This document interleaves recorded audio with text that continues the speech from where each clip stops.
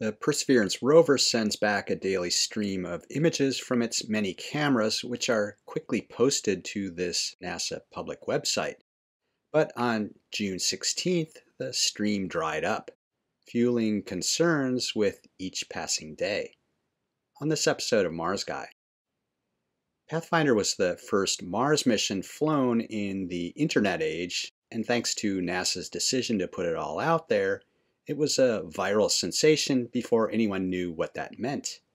Since then, we've grown accustomed to NASA Mars missions releasing new images within hours of being sent to Earth. Sometimes things go wrong, though, like on every single Mars mission ever flown. But flight software is written with robust fault protections that often save the day, or SOL as the 24 hour and 39 minute day on Mars is known.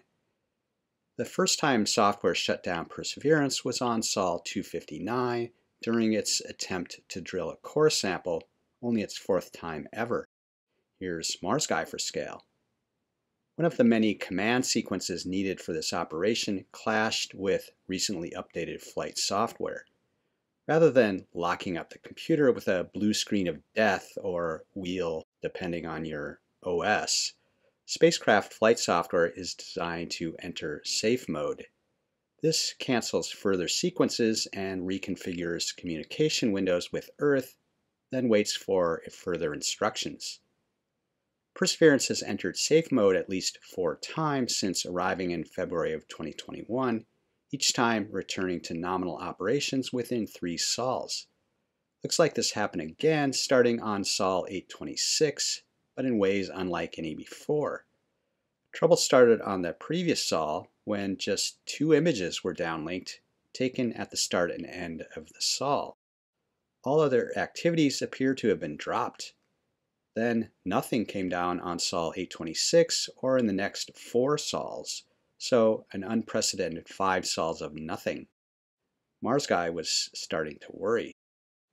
Then, without any explanation, downlinked images resumed on Sol 831, beginning with observations of the recently drilled hole that finally produced a core sample after two failed attempts, as I reported in the previous episode.